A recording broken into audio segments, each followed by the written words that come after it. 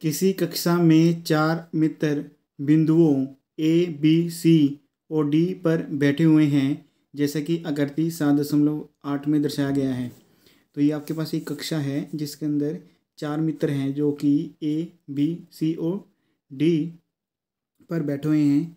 चंपा और चमेली कक्षा के अंदर आती हैं और कुछ मिनट तक देखने के बाद चंपा चमेली से पूछती है, क्या तुम नहीं सोचती हो कि ए बी सी डी एक वर्ग है?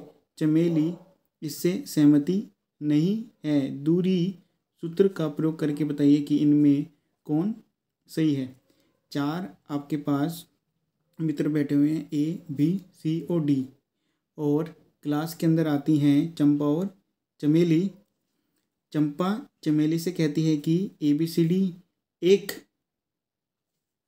वर्ग हैं, लेकिन चमेली मना कर देती है कि ये एक वर्ग नहीं है। दूरी सूत्र से आपको बताना है कि ये एक वर्ग है कि नहीं है। सबसे पहले हम वर्ग के ऊपर बात कर लेंगे। जो आपके पास वर्ग होता है, उसकी सभी भुजाएँ आपस में होती हैं। बराबर, जैसे कि मैं लिख रहा हूँ ए बी सी ओ डी तो आपके पास ए बी बराबर होगा बी सी बराबर होगा सी डी बराबर होगा ए डी और आपके पास विकर्ण भी बराबर होते हैं, यानी कि ए सी बराबर होगा बी डी के. तो आपके पास दोनों के दोनों कंडीशन आपके पास लगनी चाहिए तो आपके पास ए बी सी डी एक वर्ग होगा. अगर इनमें से दोनों में से कोई भी कंडीशन आपके पास नहीं लगती है तो आपके पास कोई दूसरा त्रिभुज आपके पास होगा। जब अब चलते हैं क्वेश्चन के ऊपर। चंपा ने कहा कि ये है एक वर्ग, लेकिन चमेली बोलती है कि ये एक वर्ग नहीं है। आपने बताना है कि चंपा ठीक है या चमेली ठीक है? वह हमें पता लगेगा। इन दोनों कंडीशनों को पूरा करने के बाद। तो हम आपको पॉइंट बनाने सिखाते हैं। जैसे कि ये ये मेरे पास है एक्स एक्सिस और ये मेरे पास है वाई एक्सिस तो हमारे पास सबसे पहले एक्स एक्सिस की वैल्यू लिखी जाती है। सबसे पहले ए से स्टार्ट कर लेते हैं। तो एक्स की वैल्यू है तीन और वाई की वैल्यू है आपके पास चार। तो ये हमारे पास है ए बिंदु, जिसके अंदर एक्स की वैल्यू है आपके पास तीन और वाई की वैल्यू है चार। फिर मेरे पास है पॉइंट बी जहाँ पर आपके पास एक्स की वैल्यू है छः और वाई की वैल्यू है सात। बी पॉइंट ले लिया है एक्स की वैल्यू है छः और वाई की वैल्यू है सात। फिर ले लेते हैं हम सी पॉइंट एक्स की वैल्यू आपके पास है नौ और वाई की वैल्यू है चार। तो यहाँ पर लिख दूँगा मैं नौ कोमा चार। फिर आपके पास आता है डी पॉइंट एक्स की वैल्यू है आपके पास छ और वाई की वैल्यू है एक। तो आपने बताना है कि ये एक वर्ग है क्या? नहीं। तो आपको सबसे पहले कंडीशन पूरा करना है ए बी बराबर है बी सी बराबर है सी डी बराबर है ए डी के। फिर आपने विकर्ण भी आपको बराबर बतानी है। पहली कंडीशन और दोनों कंडीशन जब लग जाएगी तो आपके पास वर्ग के बारे में पता लग जाएगी, है कि नहीं है। तो सबसे पहले दूरी का फॉर्मूला लगाते हैं। तो हम सबसे पहले ए बी के लिए निकालेंगे तो ए बी बराबर हमारे पास हो जाएगा। हम मान लेते हैं X one Y one X two Y two X three Y three X four और वाई फोर तो ए बी मेरे पास एक्स टू एक्स वन में आ जाएगा। तो मैं लिख दूँगा X two minus X one का होल स्केयर जमा Y two minus Y one का होल स्केयर अंडर रूट आपके पास बराबर एक्स टू है आपके पास छः माइनस है एक्स वन आपके पास है तीन। वाई टू आपके पास है सात माइनस है वाई वन आपके पास है चार।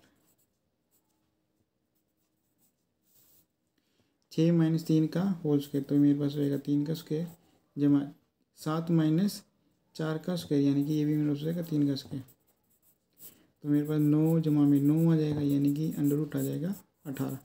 अठारह के हम बना लेते हैं गुणनखंड तो हमारे पास आएगा दो, नौ, तीन तीन तीन। तो हमारे पास तीन बाहर चला जाएगा, दो अंदर रह जाएगा, यानी ए बी की वैल्यू आपके पास यही है, तीन अंडर रूट दो। ऐसे हम निकाल लेंगे बी सी की वैल्यू तो बी सी हो जाएगा अंडर रूट एक्स थ्री और एक्स टू में। X three minus X two का होल स्केयर जमा Y three minus Y two का होल स्केयर हो जाएगा। अंडर रूट एक्स थ्री की वैल्यू आपके पास है। नाइन माइनस सिक्स का होल स्केयर वाई थ्री आपके पास है। फोर माइनस सेवन का होल स्केयर तो ये मेरे पास हो जाएगा थ्री का स्केयर जमा माइनस थ्री का स्केयर तो मेरे पास होगा तीन तीन, नौ जमा में माइनस थ्री का स्केयर तो माइनस को माइनस गुणा करो प्लस हो जाएगा तो मेरे पास ये भी आ जाएगा नौ। तो ये मेरे पास हो जाएगा अंडर रूट अठारह। सोल्व करेंगे तो हमारे पास आएगा तीन अंडर रूट दो। अब निकाल लेते हैं हम सी डी की वैल्यू तो हमारे पास हो जाएगा सी डी बराबर हो जाएगा एक्स फोर एक्स थ्री में। एक्स फोर एक्स थ्री का whole square X four minus X three का होल स्केयर जमा Y four minus Y three का होल स्केयर एक्स फोर की वैल्यू आपके पास है सिक्स माइनस एक्स थ्री आपके पास है नाइन वाई फोर आपके पास है वन माइनस फोर हो जाएगा। तो सिक्स माइनस नाइन तो माइनस थ्री का होल स्केयर हो जाएगा।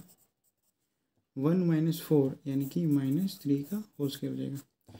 माइनस थ्री का होल स्केयर तो आपके पास हो जाएगा नाइन प्लस नाइन, यानी कि अंडर रूट एटीन यानी कि three under root two three under root two three under root two और ऊपर वाली वैल्यू है थ्री अंडर रूट टू अब निकाल लेते हैं ए डी जो हमारे पास रहेगा ए डी बराबर हो जाएगा अंडर रूट एक्स फोर और एक्स वन में आपका फॉर्मूला मिलेगा।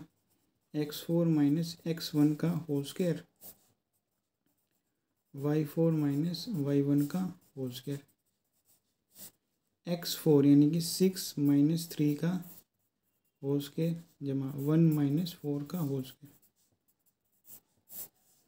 six minus three का सोल्व करेंगे तो हमारे पास आएगा थ्री का स्क्वेयर जमा वन माइनस फोर तो मेरे पास आएगा माइनस थ्री का स्क्वायर तो सोल्व करेंगे हमारे पास आएगा नाइन प्लस नाइन यानी कि ये हो जाएगा मेरे पास अंडर रूट एटीन सोल्व करेंगे हमारे पास आएगा थ्री अंडर रूट फोर तो आपने देखा कि चारों भुजाएँ बराबर आ गई हैं, अब मुझे विकर्ण निकालना है। विकर्ण मेरा बराबर आ जाएगा तो दोनों कंडीशन आपको पास लग जाएँगी तो हमें वर्ग के बारे में पता लग जाएगा। तो हमारे पास विकर्ण हो जाएगा ए सी